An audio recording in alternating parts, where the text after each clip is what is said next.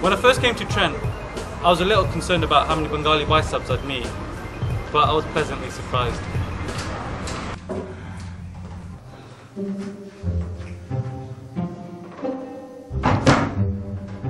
Thank you.